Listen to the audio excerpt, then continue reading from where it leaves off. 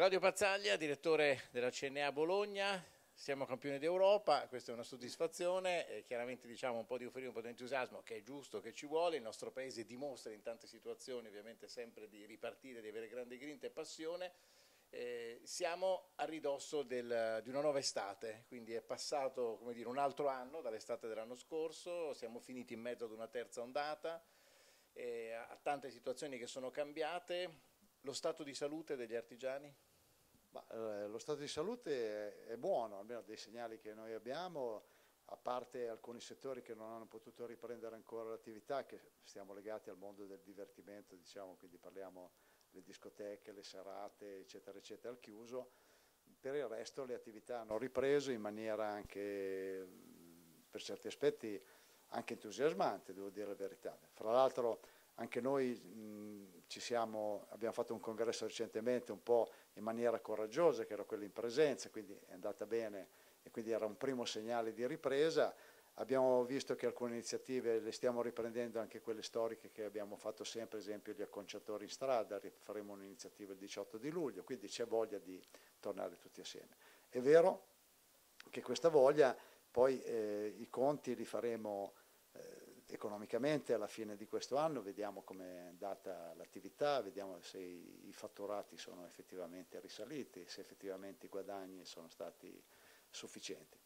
Eh, una fase eh, di difficoltà l'abbiamo avuta nella ripresa delle attività economiche, quelle manifatturiere e quelle dell'installazione impianti edilizie con il boom del 110% certo. e mille altre attività connesse che sono questa pressione sui prezzi a monte delle materie prime e, del, e della ricerca, adesso ancora irrisolta, delle maestranze per realizzare poi queste opere e così via. Quindi c'è sempre eh, alcuni segnali di sottofondo rimangono sempre irrisolti, cioè eh, la fornitura delle materie prime, il controllo dei prezzi, le maestranze che eh, si dedicano ai lavori artigianali, che sono ancora visti culturalmente ancora come attività di serie B in realtà. Poi anche per i lavori stagionali eh, un po' di difficoltà nel mondo della ristorazione, dei bar, delle somministrazioni alimenti bevande e così via, ci sono dei problemi, però diciamo la fine della pandemia non è ancora così vicina perché comunque i risultati li vedremo alla fine delle vaccinazioni, cioè se arriviamo effettivamente all'80% della copertura vaccinale di tutti i cittadini ultra dodicenni, poi si porrà il problema, adesso a settembre la scuola si apre o non apre, se li vacciniamo i dodicenni o meno, quindi abbiamo anche questo trip, da, questo viaggio da fare, però siamo in una fase positiva e di attenzione.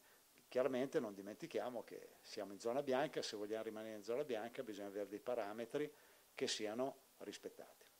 Ecco, il tema è quello che ultimamente quando qualcuno ha parlato di nuove restrizioni di zona gialla, che una volta ci sembravano il grande miraggio poter arrivare in zona gialla, ora ci siamo molto abituati alla zona bianca e temiamo giustamente eh, la zona gialla. C'è un tema del, di, di, vaccinazioni, no? che effettivamente diciamo eh, c'è questi over 60 che sembrano essere un po' sfuggiti dai radar e anche altri. Il tema delle vaccinazioni però diciamo CNA ha sempre spinto molto ovviamente perché ci si vaccinasse, ha dato disponibilità per fare questi hub aziendali, ecco, quindi l'impegno c'è stato, però la risposta non sempre è stata quella che ci si attendeva. Sì, c'è stato fino a un mese e mezzo fa, eh, circa verso la fine di maggio, c'era questa richiesta eh, continua dove andiamo a vaccinarci, bisogna che apriamo, facciamo. Abbiamo pensato anche noi come sistema CNA di aprire un nostro hub qui presso la torre CNA, poi il, le, la burocrazia, le complicazioni, il fatto del, del, dell'ingaggio come andava fatto eh, non ci ha permesso di lanciarci questi hub.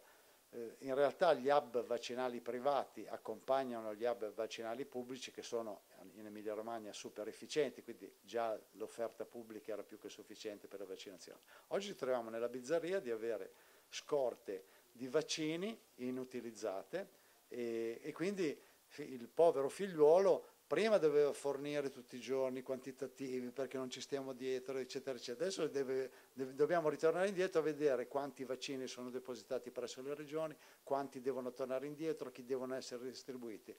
E poi siamo arrivati alla, al fondo della, della, della quantità delle persone da vaccinare dove tocchiamo quelli che sono non i Novax, gli scettici, quelli che stanno un po' alla finestra, quelli che stanno attendendo, quelli che dicono, beh, intanto c'è l'immunità di gregge, si raggiunge tramite gli altri, non mi succederà niente, e io auguro che non succeda più niente a nessuno, siamo arrivati a 128.000 morti, è vero che tutti i giorni diciamo sono 12, 13, 24, dice eh, vabbè dai, rispetto ai 500, però la fine fa 128.000 e quindi bisogna che noi eh, ci prepariamo ad essere pronti a un'eventuale ulteriore restrizione in base all'andamento pandemico di settembre, ottobre, novembre, sperando di non ritornare nei venerdì del CTS che ci dice adesso cosa facciamo lunedì e così via. Contestualmente le, le misure economiche del governo che sono passate un po' sotto traccia, no? Perché sono arrivati una sbaraccata di soldi? Sì, una sbaraccata perché... di soldi, ma in realtà sono rimasti anche tantissime risorse eh, non distribuite perché la richiesta da parte degli imprenditori, abbiamo visto con gli ammortizzatori sociali che il tiraggio è stato 5 miliardi e mezzo di ore, in realtà poi l'utilizzo di questi 5 miliardi e mezzo di ore è arrivato a punte del 40, 50, 60%, quindi non sono stati usati tutti gli ammortizzatori. Siamo stati un paese previdente, abbiamo chiesto tutti gli ammortizzatori, certo. poi li abbiamo usati, che è un segnale positivo, vuol dire che il lavoro comunque c'è stato, che il mercato ha resistito. Dall'altra parte gli aiuti, quelli sostegni 1 e sostegni 2, rimangono risorse per 6-7 miliardi non distribuite che non verranno richieste perché i criteri, se ricordiamo, erano molto severi, più del 30% certo. di perdita sulla base mensile in un anno, in realtà verranno probabilmente redistribuiti per altri obiettivi, che ci sono attività ancora che devono riprendere, tutto il mondo delle cerimonie e gli eventi, il wedding, certo. i matrimoni ancora in grande crisi. sono in grande crisi. Quindi vedremo un po' la distribuzione, però è passato in secondo piano l'emergenza, siamo un paese, eh, come posso dire, entusiasmante da questo punto di vista, cioè, siamo passati da una crisi mistica di aprile-maggio a una liberalizzazione del mercato dove l'imprenditore ha dimostrato che non ha bisogno degli aiuti pubblici e effettivamente aveva voglia di riaprire, di avere libertà. Per mantenere questa apertura però stiamo attenti che è sempre la sommatoria di un virus del quale le varianti, certo. eh, io non sono un esperto, però significa che il virus si adatta all'andamento diciamo, del, dell'essere biologico che vuole attaccare che l'uomo e quindi via via trova delle soluzioni per potersi insediare nel corpo umano. Poi la vaccinazione mondiale è l'altro tema, ma questo è un tema che vedremo più avanti, quando riusciremo anche a fare in modo che l'Africa abbia tutti i suoi vaccini, perché non dimentichiamo che la pandemia circola indipendentemente dai confini, no? non, ci, certo. non, ci, sono le barriere no? nel Mediterraneo per impedire l'arrivo del virus, quindi siamo in una fase positiva, noi come artigianato e piccole imprese speriamo che ci sia la ripresa delle aperture delle PMI delle piccole imprese che in questo anno e mezzo, eh, un po' anche i giovani, di riprendere l'entusiasmo, abbiamo bisogno di fare il ricambio generazionale in tante imprese, abbiamo bisogno che le imprese che hanno chiuso vengano sostituite da nuove imprese più digitalizzate, più eh, moderne e così via, però abbiamo bisogno di riprendere un po' quel solco della difesa della microimpresa di prossimità, che non dimentichiamo che il deserto un domani bisogna prevenirlo, no? il deserto delle attività di prossimità. C'è poi il tema del, del recovery, no? come diceva Pazzaglia, gli imprenditori, gli artigiani hanno voglia di lavorare, non vogliono solamente dire, aiuti, certo vogliono essere sostenuti, però lavorare. Adesso c'è il grande tema che anche Bologna, città metropolitana, anche qui arriveranno miliardi di euro no? su questo tema, quindi voi siete pronti a prenderli? Bah, siamo pronti a prenderle. La gestione del PNR è pubblica, quindi adesso devono ancora definire qual è la cabina di regia. Sembrano cose secondarie, però eh, hanno dovuto fare un decreto apposito perché com'è la cabina di regia, c'è il governo, ci sono i ministri, ci sono le regioni, ci sono i ministeri, ci sono gli staff, ci, ci vogliono essere anche i comuni, quelli di grandi dimensioni, certo. le città metropolitane, poi e chi ne ha più ne metta. Quindi saremo pronti siamo pronti se eh, buona parte delle, delle, misure che verranno messe in campo prevedono anche eh, il coinvolgimento della piccola, media e grande impresa nella coprogettazione, perché eh, non perché non ci fidiamo degli enti pubblici. Però è meglio sempre partecipare anche a questi tavoli. È meglio partecipare alle coprogettazioni, certo. cioè sapere, ma non solo come coprogettare, ma anche cofinanziare, perché la leva pubblica può muovere anche una leva privata in un interesse eh, collettivo. Certo. Quindi può muovere anche molti, molte risorse private. Visco l'altro giorno parlava di 400 miliardi di depositi delle imprese che hanno in tesoreria in attesa di fare quali investimenti, i 900 miliardi dei cittadini che sono lì in attesa e così via. Però è chiaro che noi sappiamo che questi risparmi sono i risparmi io li investo se ho una prospettiva di medio-lungo periodo di ritorno degli investimenti. Quindi io credo che adesso a inizio agosto arrivano i primi 25 miliardi perché la von der Leyen ci ha promosso grandi progetti, grande piano, no? sono 700 pagine, non so se lo sai, ma per rispondere al nostro piano da 360 il commissario europeo ha scritto una relazione positiva di 670 pagine. Quasi il doppio. Diciamo. Quasi il doppio. Quindi alla fine siamo promossi, siamo in una fase veramente tutto favorevole. Eh, è vero che il campionato europeo di ieri sera ci dà una spinta ancora più entusiasmante, però non dimentichiamo che questo campionato del PNRR finirà nel 2026 se siamo riusciti a mettere eh, tutti i progetti in linea che sono partiti perché verremo controllati da questo punto di vista. Però io sono fiducioso perché l'Italia è un paese veramente pieno di risorse e questo anno e mezzo, al di là delle critiche così si può sintetizzare che è un paese che ha sempre la capacità di eh, riprendersi e di reagire. Quindi è un bene che l'Italia sia anche campione d'Europa, non solo nel calcio.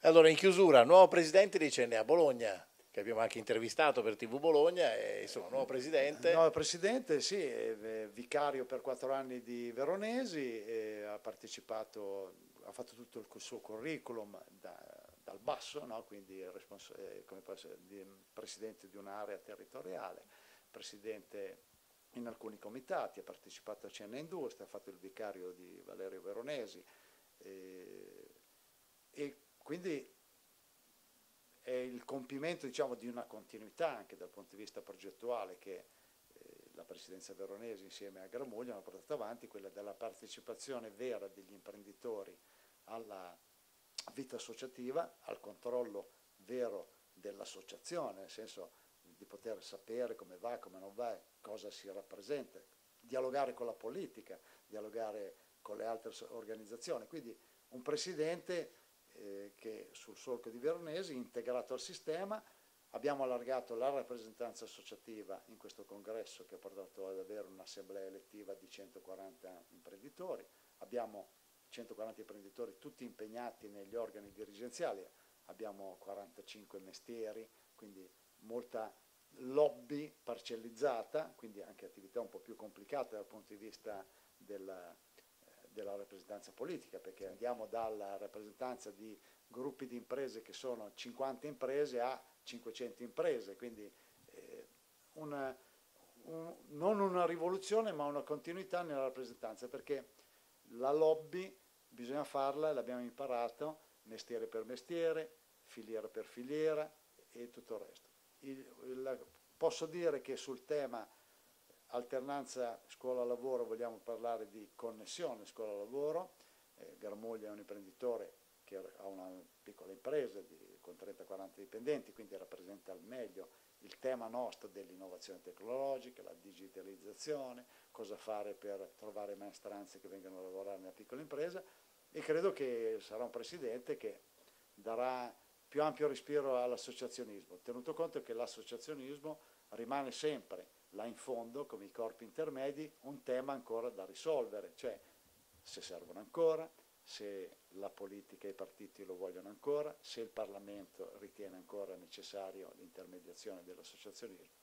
Noi riteniamo di sì, noi riteniamo che gli imprenditori ne abbiano voglia di associazionismo, spero che sia un, un quadriennio, questo primo quadriennio, che porti a una più efficacia, non più visibilità perché la CNA è abbastanza visibile, porti a una più efficacia delle azioni nei confronti anche della politica. Ci sono le elezioni imminenti. E quindi c'è già un primo... Aspettiamo anche il, il candidato del, del centrodestra e sperando che la visita dei, diciamo, dei rappresentanti nazionali del centrodestra trovino poi questo, questo rappresentante di modo che si dialoghi. Poi continueremo nella, nel filone della della solidarietà fra gli imprenditori, fare rete, stare assieme, la solidarietà verso gli imprenditori, perché c'è anche emarginazione fra gli imprenditori, non sono tutti miliardari certo. gli imprenditori, hanno bisogno anche loro di essere sostenuti, e in collaborazione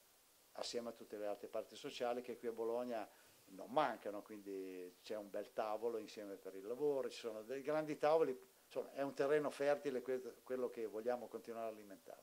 Bene, grazie Claudio Pazzaglia davvero e buon lavoro. Grazie a voi.